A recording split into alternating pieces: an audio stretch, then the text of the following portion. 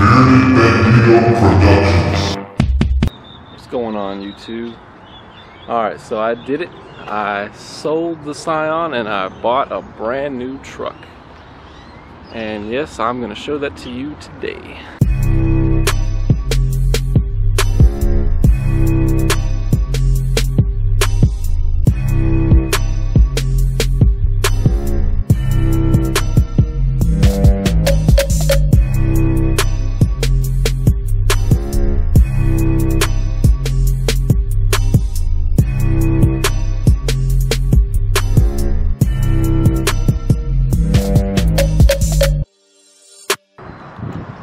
Okay, so here it is, the 2018 Ram.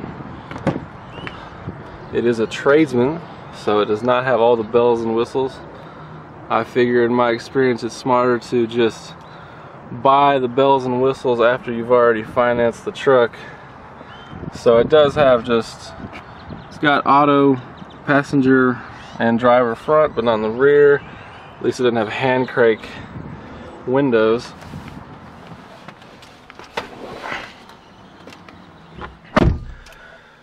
So it's got a pretty basic uh, radio setup. I think it's a Uconnect 3 or whatever the lowest level is. Just basically presets Sirius uh, radio and uh, I think USB connection. That's about it. So I might switch that out with the screen or I might just get a GPS. Who knows? Right now I got this holding a cell phone as my GPS. Uh, it does have a six-speed transmission. Is that the G56 or whatever that is? So these aren't as easy to find as the autos are, obviously. And I think Ram is the only truck to actually make uh, manuals anymore. And you can barely hear it because uh, they don't make diesels loud anymore, but oh well. Uh, pretty basic, no vanity mirror, you know might add on. I probably won't add on on who. Don't really care. It does have that on the fly shifting the four-wheel drive. So it doesn't have the uh, manual transfer case. I was actually kind of hoping I could find one with one but I couldn't. One of the first things I got to get in this truck is floor mats because I'm gonna destroy this carpet if I don't get floor mats. This is pretty much as basic as it gets actually it's not quite as basic as it gets so let's go over that. Um, so this is a tradesman but it does have the chrome bumper and the chrome grill. So that is some form of an upgrade. And then it's got tow hooks so that's part of some tow package. I'm not completely sure what it's considered by Ram but it's something. And then uh, got no running boards, so we'll have to get some running boards on there. It's got, now this is something I didn't know, but these new trucks, they don't have leaf springs anymore. They just have shocks in the rear, which is gonna make it a lot easier to lift the truck. But that's something I didn't realize had been going on for a while. I hadn't bought any trucks recently. It does come with a chrome bumper. It does have a stock receiver. That was something I was worried about too. It's got the reverse camera. Don't know if you can see that. Yeah, it's got a reverse camera. No bed liner. Bed liner's gonna have to get put in. Hookups for a gooseneck's probably gonna have to get put in. I'm not a fan of fender flares, but I've barely gone over any dirt and I can already see dirt on it. So, I might have to do something over here. It's got these new capless covers I'm not really crazy about. I'll have to put something on that and on the DEF or I'll just delete it. Because who needs that shit anyway? Yeah I don't even I don't even want to get in this truck because I don't want to get my I it's all about to rain over here so I don't want to get shit all over the truck. Uh, actually the first thing I'm gonna go do is go buy some floor mats at AutoZone until I can get some better ones from somewhere else online. Any suggestions? Leave them in the comments below uh, and we just got, oh, some basic paperwork it came with. It's got USB port, aux, or two USB ports, an auxiliary port, and that will be used for charging. They still come with these, that's crazy. they still come with these little change things. Dodge has had these, this style center console forever. And then, I'm not sure, does this lift? Oh, that doesn't feel like it lifts. Ah, well, place for your phone or whatever. Three cup holders. A lot of these new trucks have a shitload of cup holders, although this one only has these three. But that's two more than what I need. Well, I guess it's one more. If the wife rides with me, we got a regular power outlet there. We got a USB port there. And this does actually have, it does come with the after, or not aftermarket, but, well yeah, aftermarket hookups for aux switches. So, got LEDs and whatever else I want to put on there. So that's pretty cool. I'm not crazy about that on the fly shifting. I really wanted a manual transfer case. I guess I could have held out, looked a little bit longer, but I think it'll do just fine. Let's see.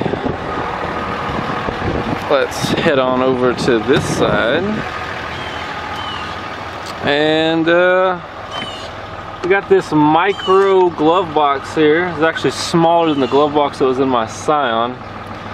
So, I'm not saying a whole lot for glove boxes. I'm sure this can rip out and become something, who knows. I like that these uh, A-pillars do not have airbags. Not that I would do anything to the passenger one, but the driver, there's your gauge pillar right there. So that's pretty cool because I know a lot of things have airbags you gotta remove. And that's a different hurdle altogether.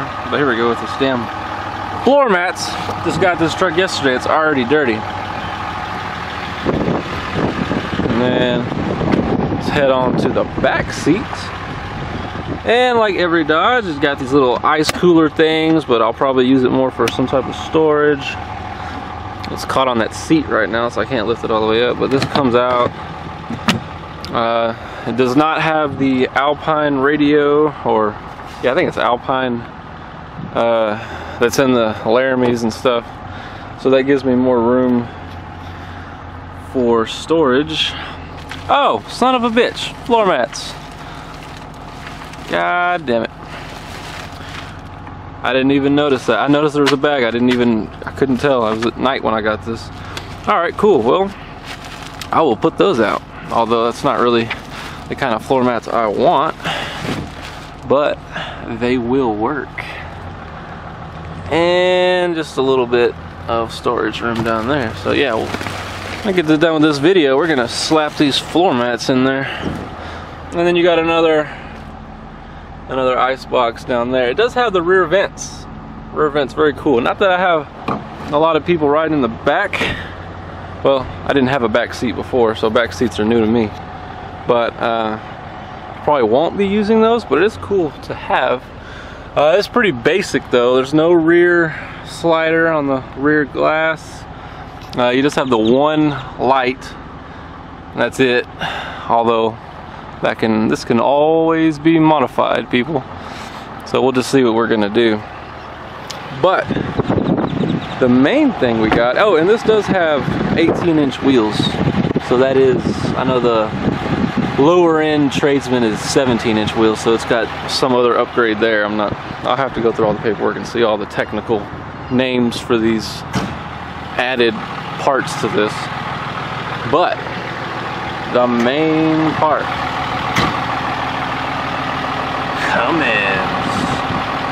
Which you can barely hear, which I hate. I'll show you why in a minute. And the main part, the grand finale. Just got the single 180 amp alternator. Still got this damn turbo silencer in here somewhere. We'll have to, I think it's somewhere here, I don't know, I'll have to look it up. It's gotta be where the turbo is, right? So it's gotta be somewhere over there. We'll get that thing removed as soon as possible because you really can't hear the turbo. But yes, so that is it. The Cummins Heavy Duty.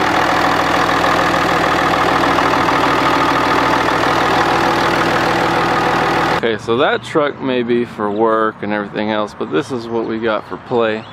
Now this truck has a long story behind it because it is actually was actually bought to build up business credit. That was the kind of point of its entire purchase was to build business credit. It could have been bought outright, but we chose to do that because we had to establish credit. Anyway, long story. Um, right now, it is paid off, but they, the company that we're dealing with, is trying to gig us on some paperwork that was supposedly not sent in that was supposed to be. And so we're having a little legal issue with getting the title on it, which is why it's just sitting here. As soon as we get that title, this is the new project. Now, it has been sitting here for a while because the tires have dry rotted. They were pretty going anyway, but just want to show you something. So this truck basically just sits here, and before it was sitting at our shop. Now when it was sitting at our shop, it was broken into. Since then, hasn't really been touched much. It's been, it was driven back here before the tires rotted. Almost never gets started. Uh, I don't want to abandon it, but it does seem like that's kind of what we're doing. Holy shit, I'm trying to get this key out. So, alright. So, it never gets started. But, by the way, I hate this. This is a replacement. I had a Hurst shifter in this truck.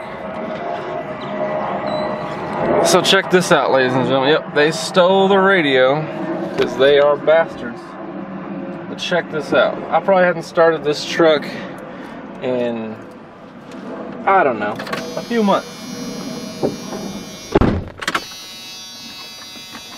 Let's get it in neutral. Let's wait for the wait to start light to go off.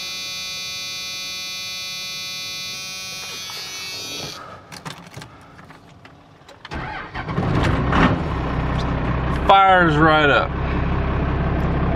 All these gauges actually work.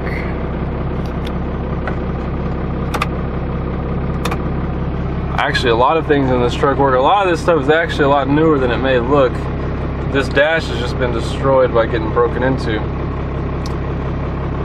So this is something that I might be making a few video on, videos on in the future.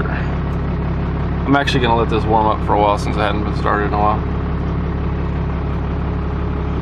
Alright guys, well thanks for checking out the vid. If you like it, subscribe, leave some comments. Until next time, peace out.